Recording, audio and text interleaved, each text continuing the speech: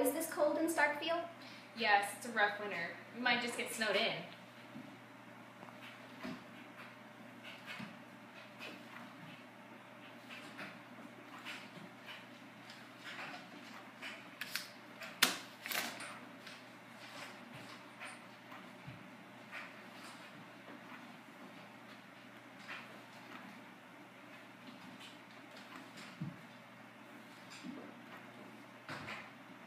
Who was that?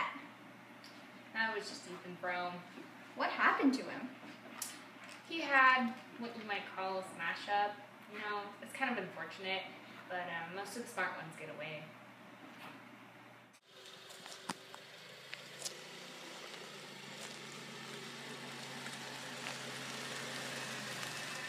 It's getting very cold outside. We'll surely freeze. No, I'm all right. I'll just walk.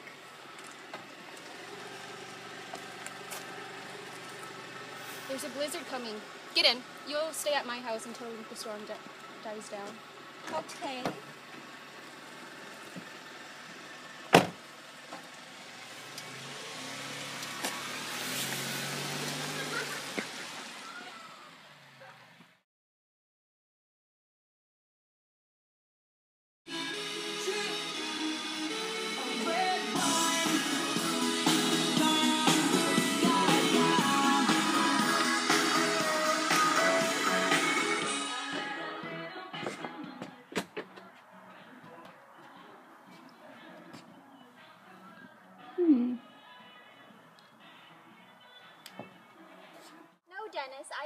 Ride today. Thanks, though.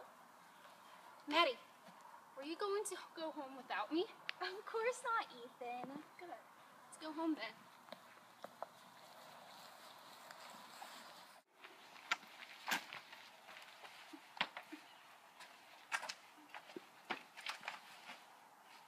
Where's the key? I'm sure she put it here. Oh, hey, Zeena. I guess you forgot about us. No, I just felt so mean I couldn't sleep.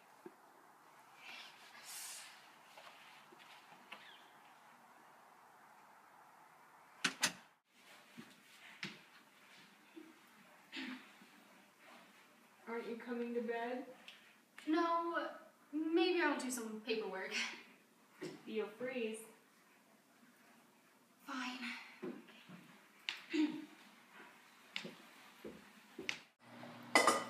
Ethan, I'm getting those shooting pains again. I have a doctor's appointment in Bettsbridge. Can you have Jotham drive me there later this afternoon? Well, certainly.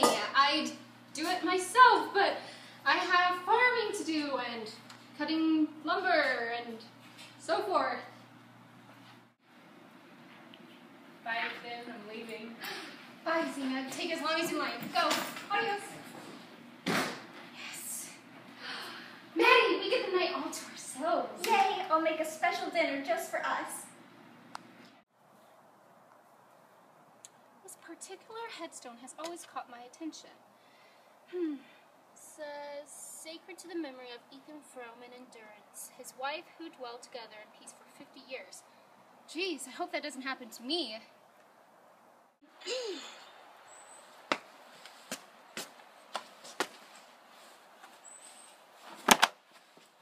Mattie, Mattie, where are you? Are you there? Oh, oh, hi, Ethan. Goodness. Have you any visitors? One. But it was only Jotham, though. So Denis wasn't here. No.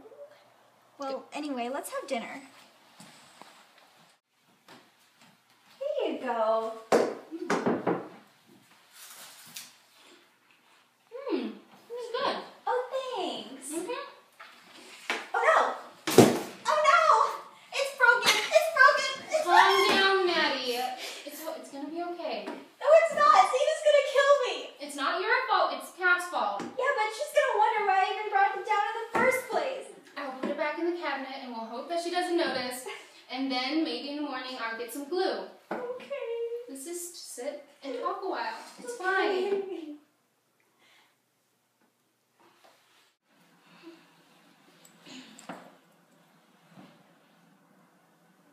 So, what are you doing? I'm just making a scarf. But the lighting isn't too good.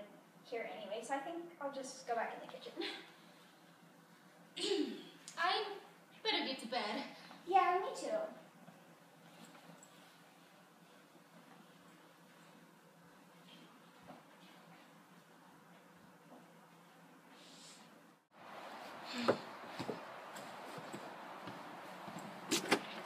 Hi, Mattie. Zeena's back. Oh. Whoa. Um, maybe you should go talk to her. She went upstairs.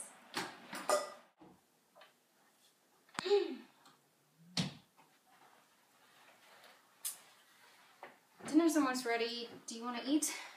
No, Are you alright? no. Why? What did the doctor say? The doctor said I'm getting sicker, Ethan. I can't be busting around the house doing all the work. He said we need to get a new girl. What about Mattie? She helps you. Mattie doesn't do anything. We need to get someone who's gonna work harder. You should have told me first. We can't afford this. We can't afford both Mattie and this new girl. Oh, silly. We're gonna get rid of Mattie. We're gonna hire someone else who actually knows how to do her job. What? Yep. Tell Mattie that she's gonna leave tomorrow and tell her to pack all of her things tonight. What? Zeena's kicking you out. You have to leave tomorrow. Oh, don't be so sorry, Ethan. I'll be okay. But who are you possibly going to stay with? I don't know. We'll just find a place. Or, I don't know. I thought you weren't hungry. I changed my mind. I need my heartburn medicine. Oh, I'll get it for you. No, you don't know where I put it. I'll get it myself. Okay. I demand to know who did this. It was the cat. The cat? So the cat went into the cupboards by itself, or did you guys take it out when I wasn't here? I just wanted to make the table look pretty. How dare you guys? What do I do? I I could run away with Mattie, but I need enough money to buy us a house, and I need to get a new job. Or also, I need to take care of Zeena. She could have the house and the farm, but she wouldn't be able to tend it on her own. I don't want her to starve to death, and she can't sell the house. Ugh, I don't have any money. It would be impossible. Oh, look, there's Mrs. Hale. Maybe I should ask her for money. Mrs. Hale. Mrs. Hale. Oh, hi, Ethan. Hi. Well, listen, I just wanted to tell you that I think you're just amazing for staying with Zeena through what she's going through right now. I mean, it must be really, really hard, and I just think you're really honorable to just be with her right now. anyway, what do you have to say? Oh, no, nothing. Have a good day. You too. Bye. Bye. Ethan, I'm sorry, Mattie, but we have to go. oh, I don't want to leave. Where am I going to go?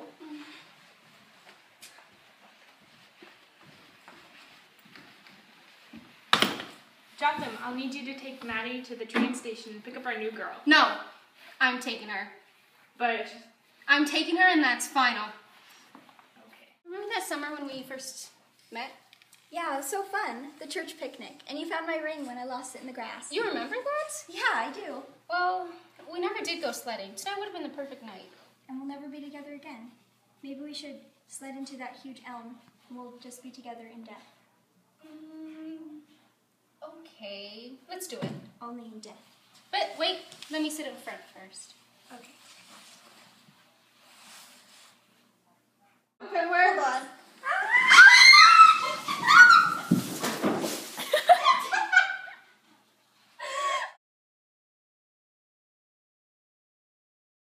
Inside. It's warm in here.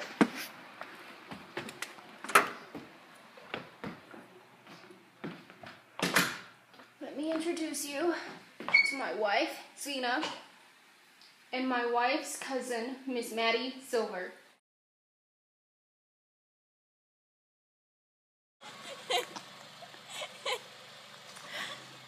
but I have all the farming to do and chopping the wood and so forth.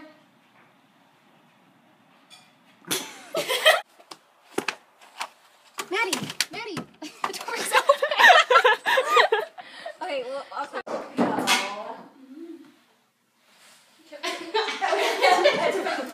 and then glue it together, maybe in the morning, and hope she, that she doesn't find out. Or no, sit and Calm her down.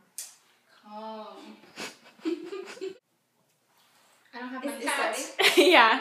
I hit it. be- Just lift him. Lift him all the way. Go. Go. oh no!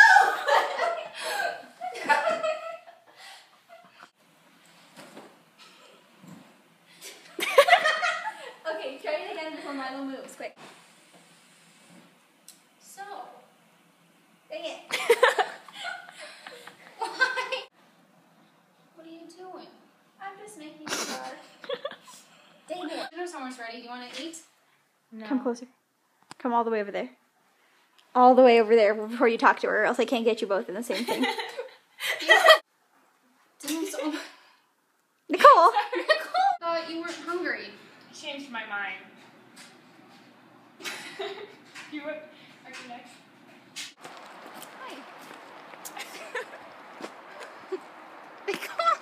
Guys! She's supposed to say something, and she was just. I was gonna say it. You're amazing because you've stuck through with, with Zeena on her. like, Nicole! I just wanted to tell you something. So I just think you're amazing for being with Zeena in this time of sickness. You know, it's really hard for her what she's going through right now, and I just want you to know that you're. Hold on.